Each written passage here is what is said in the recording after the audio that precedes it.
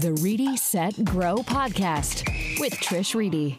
Welcome to Reedy Set Grow, the podcast that inspires you to grow into the person you are meant to be. I'm your host, Trish Reedy. I'm a local mortgage lender here, and I love our community. So I wanted to bring to you, our listeners, some of the most inspiring people in our community. Today we have Jason Witt, who I know from the gym. However, Jason is a UFC fighter and he just won this big big fight. I almost called it a race because I'm a runner, but it's a fight. Jason, tell well me mostly because I'm not really into UFC. I did watch you fight. It was kind of scary to me. Tell me more, just kind of about the basics. Obviously, a lot of people know, but give those of us that don't kind of the rundown. Uh, yeah, so um, the UFC is kind of the NFL of mixed martial arts. Um, the UFC, it's uh, the the rundown is you have three five minute rounds. Um, it's it's uh, mixed martial arts is it's a mixture of all kinds of martial arts. You have jiu-jitsu, you have wrestling, you have boxing, you have kickboxing, you have uh, all the martial arts mixed together. Um, back in about 1991, um, the UFC came about and they they made a fight. They wanted to see who the best style of martial arts was, and they had fights like that. And then over the years, it's evolved into more of a sport. And nowadays, it's it's uh, it's a lot of the sports are just really mixed together really well. It's blended really well. Um, so so for me, uh, it's a three five minute rounds um, where I go and fight another man with four ounce gloves on, and whoever comes out, uh, the better man is the winner. So. And that feels pretty good, doesn't it? To be the oh, winner. it feels fantastic. There's uh, there is there's no feeling quite like it. Uh, it's it's hard to compare to uh, it's hard to compare to anything. Um, the level of stress, the level of commitment it takes to uh, to win a UFC fight is definitely it's uh, it's definitely one of the top things in my life. That's awesome. So so th- you said this is like the NFL for for mixed martial arts. So yep. this is not WWF, WWE, Hulk Hogan playing around. This is legit fighting. Yeah, so WWE is kind of uh, I, I, call it stage wrestling. It's not it's not real uh, real wrestling. Uh, mixed martial arts is definitely real. Um, there's there's no stunts. There's no scripts. It's it's one man goes in the cage against another man. Whoever comes out is the is the better man that day. Um, yeah, in my in my fight, I cut him open, and they said this is not a prop. It was on Halloween. The guy was bleeding everywhere, and uh, yeah, I, I, cut him open pretty well, and that's you know that's that's just part of the game. Um, but yeah, it's definitely it's a violent sport. Um, it's it's I'm going in there to hurt you. You're coming in there to hurt me, and whoever comes out wins. And now, is this something you've always wanted to do? What's your journey been to get to this level? Yeah, that's a good question. Um, so, like most people wrestled or did did some form of mixed martial arts when they were younger. Um, I wasn't like that. I skateboarded back when I was younger. Uh, I still love skateboarding this day. Um, my family, my uncle used to be a professional kickboxer and boxer, and he kind of he kind of helped me start training. I started, I found a gym that I really loved. Um, I always, I'm a very competitive person. I never wanted to, um, I don't, I, I, don't like hurting people. I'm not a violent person, but I love competition. And that's kind of what mixed martial arts really is the ultimate form of competition. Um, I started training for about six weeks when I was about 21, 22, took a, took a uh, mixed martial arts fight. And at 21 and 22, I was a, I was a cocky kid. Uh, didn't think I could really get beat by anybody. Uh, I found out real quick, the hard way, that uh, I could lose. and I'm the type of person that uh, when when I lose, I come back better. Like I'm gonna figure out why I lost. How do I get better? And from a little that bit of fight that on, fail really, forward attitude. Fail forward. Yeah, yeah, yeah. And that's that's that's definitely the attitude I have. Um, I lost that fight and I just kept training harder and harder and I, I, got a lot better. And then I just kind of fell in love with the sport from that and then just kept going and it's it's turned into a journey that I never thought would even play out the way it has. Yeah, that's amazing. That's amazing. So explain what's the levels? Like you obviously it took a while to get to the this to the big yeah. stage, right? Give me give yeah, me a little bit more of the journey from that first 22 year old cocky kid. Uh, there's a lot of levels to it. So so you have amateurs. Um, so think of that like kind of like pee wee. I'm gonna use football references. Think sure. of that like pee wee football, uh, middle school football, things like that. Um, then you have kind of like when you turn pro. That's kind of like uh, you have local pro shows. Uh, pro just means you get paid for it. So you have amateurs, which you mm-hmm. fight and you just get your your record up. Um, you don't you don't get paid for that. Um, so you pretty much do it. You fight people for free, get beat up for free. It's a terrible idea. Uh, and then you have when you turn pro, you start getting paid. You don't make a lot of money. I think my first fight I made 300 and 300. So 300 to make weight, 300 to win. Uh, not you can't make a living off that either. Um, so think of that like high school football, right? And then when you get better as a pro, you have bigger shows like LFA, uh, RFA back in the day. You have local shows like FAC.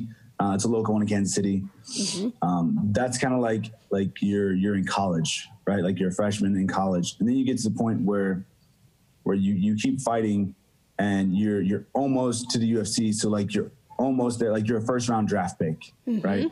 And then when you get in the UFC, you're in the NFL. That's kind of that's kind of uh like that's that's the the highest level of the sport. That's where you want to be. That's the toughest competition. And from then on, you just kind of keep moving up. Like let's, you know, you keep moving up. You're in the playoffs. Oh, cool. You lose, then you come back and you try to win Super Bowl. The, the UFC championship's like winning Super Bowl. Yeah, awesome. So, tell me a little bit about who's who's the Patrick Mahomes of your sport. Who who do you really look up to? Who inspires you? Uh, Is that the goal for you? Do you want to be the the Patrick Mahomes of UFC? Uh, I, I never thought about it that way. Uh, I always thought I just wanted to be in the UFC and want to have a successful career in the UFC. I never said I wanted to be UFC champion. I never said I wanted to be. There's the thing about that is is there's a lot of Patrick Mahomes in the UFC. There's a lot of breakout stars. Uh, you got Khamzat Chimaev is is just coming up. He's a crazy star. Uh, Israel Adesanya is is a UFC champion, 185 pounds, and they're kind of the the Patrick Mahomes uh, of the sport. They're they're flashy. They're they're fantastic fighters. They make a damn good living doing this too. So uh, as as this Patrick Mahomes making five hundred three million dollars, right, insane. Right. Um, but yeah, there's there's I mean there's there's a lot of there's a lot of guys coming up like Patrick Mahomes uh, in the UFC. That's awesome. So this is not your only gig, right? You don't just fight for a living. Tell us a little bit about what else you do. Yeah, so um, about five years ago, four years ago, I was working for an ice company. Uh, I drove a truck around delivering ice. Uh, I still trained full time too. Uh, I hated it. I just didn't didn't didn't enjoy my life. Um, so I told my wife, I was like, "Hey, I love I love lifting weights. I love personal training. I love helping people through fitness." Mm-hmm. And I said, "Hey, look, I want to quit my job. Um, I'll drive for Uber for a couple months while I get sort of certified as a personal trainer. Um, and then, you know, if I don't pass, then I'll do whatever you need me to do to make money for the family. Like that's that's fine with me. And if I do, I'm going to get a job, become a personal trainer. Uh, so I did that. Um, that was actually four years ago, almost to date. Um, so I did that, became a personal trainer, worked at a corporate gym uh, for about two, three years, and then I kind of went off on my own, uh, became a personal trainer, uh, my own uh, independent contractor, pretty much, right? And then during quarantine, uh, it really, you know, we, we, we, we were deemed unessential, which so I didn't have a job for two months, and I'm like, man, this is this is not good. How can I kind of fix this? Right. And so to fix that, I bought the I bought the business. So I bought the gym. Um, I spent uh, like a week or two in quarantine. Uh, the gym wasn't open yet, so we renovated the place. We painted all the walls. Um, I don't know if you were there and remember what it looked like before I took over. Uh, walls were orange. It was gray. There's a couple walls. I took everything down. Uh, my wife was a huge help with that. She she painted a lot of the walls, decorated most of the place. So that's took down some walls, redid a lot of the stuff. Um, really reinvented the whole entire place. We call it uh, it's called Fit House KC, and we've kind of owned that place uh, for was that four or five months now. Yeah, and so I'm pretty happy with, with the business. It, it it's it was something that I wanted to do when I first became a personal trainer. I was like, look, I kind of want to own my own gym. I think that'd be cool. Um, so that's just what, what, we're doing now, just kind of running with that. So yeah, I feel like it's got a great atmosphere. You know, there people are in there, they're working hard, but they're still competitive and kind of fighting each other to to lift the most and be the best and get the best workout in. Yeah. It's a great. Yeah, that's atmosphere. kind of the that's the that's the culture I wanted. I wanted. It's called Fit House KC because it's kind of like a home away from home. Um, I have built boot camps uh, that run in the morning, and they're very competitive. They like lifting heavy, and and that's that's the culture I want in the gym. I want everybody to feel comfortable in the house or in the in the house too. Yeah. Uh, I want everybody to feel comfortable in the gym. I want I want a great atmosphere, and I think that, that really changed once I took over. Yeah, for sure. So, what's it feel like to get punched in the face by some other guy? Like you are a ripped guy, and what I mean, I can't even imagine. What does that feel like? Uh, when you're in the fight, it doesn't hurt at all. It's you, you, it's it's just pressure. You feel pressure like being put on your face. Um, getting punched, it's not fun. I'm not, I'm not, gonna, I'm not gonna lie to you. It, it, it, does, like when you're in sparring and stuff like that, it does hurt. It doesn't feel good. Um, yeah, it's just, it's, it, it, feels like losing and I hate losing. That's, that's the, that's kind of how I, I, I picture it. And I, when I get hit in the face, I get a little angry and I know that's not a good thing, but it's definitely got a lot of it over the years. Um, yeah, it's it's not fun. It's, it's I can't imagine it would it, be. It, it's painful. You know, even even this last fight that I just had, um, I won the fight. I didn't get hit. I didn't get punched, but uh, even even elbowing the guy in the face and kicking the guy, my my knees hurt, my elbows hurt. Like it's just you still get beat up even though you beat the other guy up. Yeah, man. So have you had any like legit injuries? Any any big things to overcome with that? Or have you been lucky? Um, you know, nothing, nothing crazy. I got my eye split open a couple times. I'm missing a couple teeth. Nothing, nothing, nothing too. Just uh, some too teeth. Crazy. Nobody nothing. needs those, anyways. I mean, my seven-year-old's No missing deal. teeth right now, but it's a little different Yeah, story.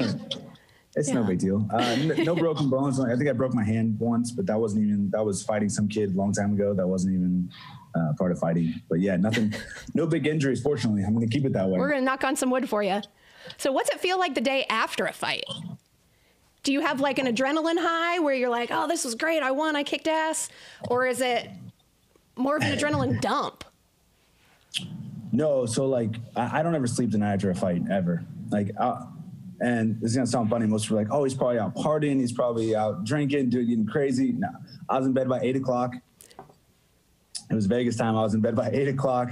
Couldn't sleep. I just sat there and stared at the ceiling for eight hours until I had to get my flight the next morning. But yeah, it's uh, the, the, the adrenaline dump. It's it's it's crazy. You you you're so hyped. You're so proud of yourself. Like I can't put that into words either. It's just it's hard to explain.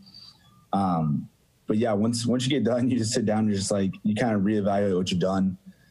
Uh, kind of for me, I, I like to go back. Even though I won the fight, I did a great job. I didn't get hit, but I want to go back and understand what I could have done better.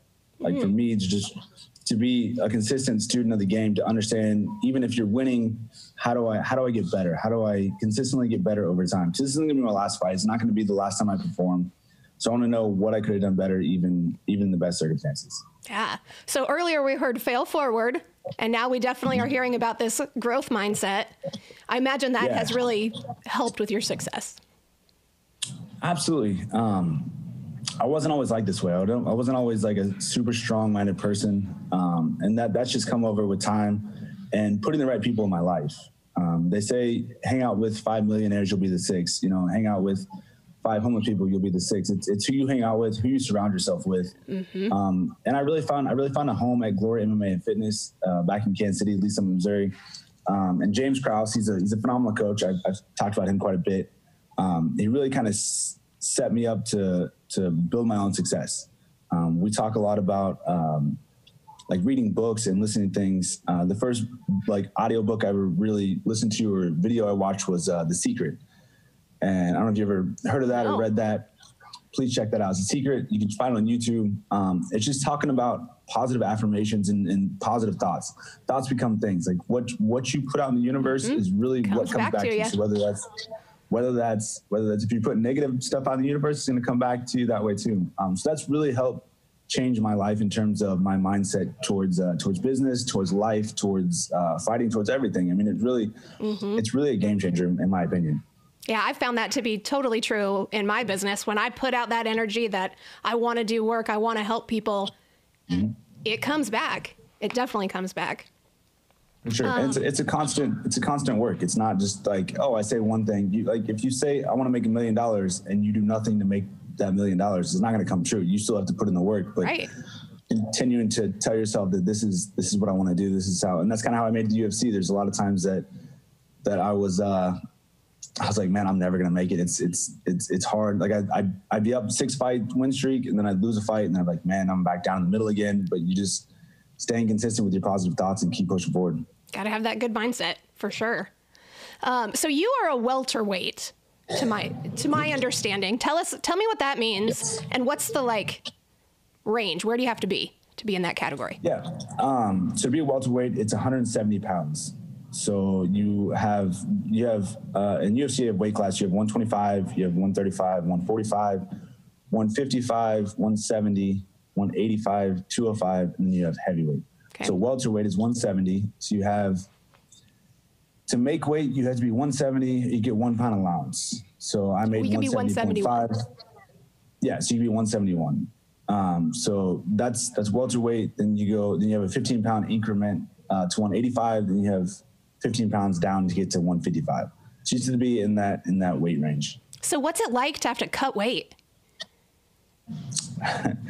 being at 170, it's it's not a bad weight cut for me. It's uh it's you know usually uh, it's gonna be hard to explain, but a lot of people will cut a lot of weight for one for fighting at 170. I only cut like 15 pounds, so I walk around like 185, which I know sounds like a lot, but in our sport, it's it's done really well.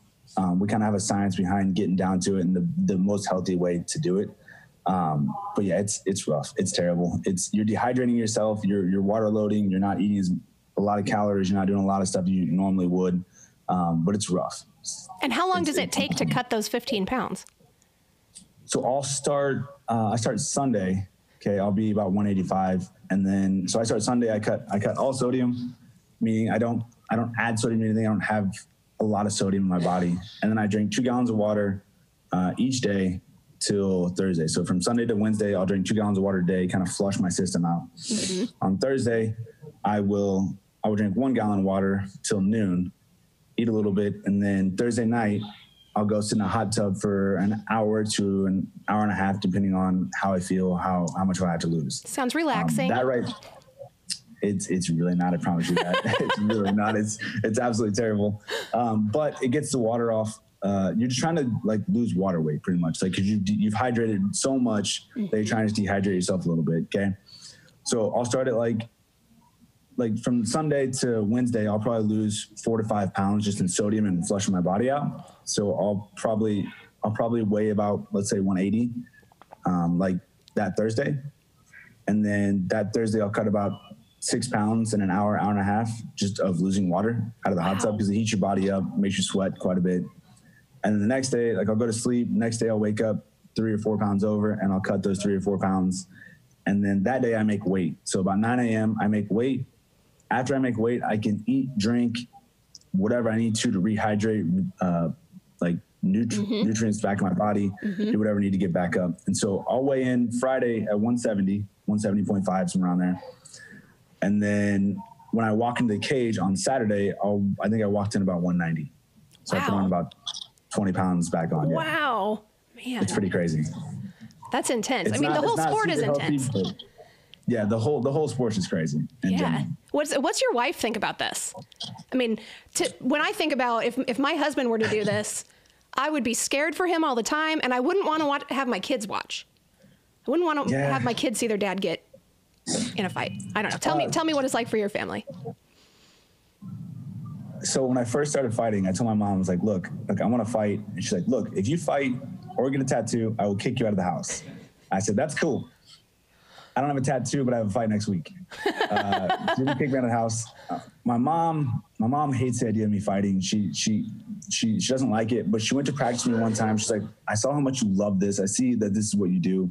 She knows I'm athletic. She knows I love being competitive. So she's been like my biggest supporter. She's been to every single fight. She drove to Chicago to watch me fight. She goes to everything. She's extremely uh, intoxicated when she does it. She's, uh, especially the first. Mom's got to do what a mom's got to do. Hey, you got to do what you got to do. Uh, she was she was drinking quite a bit for the first couple fights. She does it sober now, so she's she's gotten used to it. She she can do it a lot better now.